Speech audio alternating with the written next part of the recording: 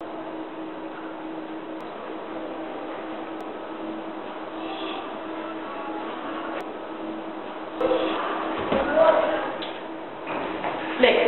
There's something I have to tell you.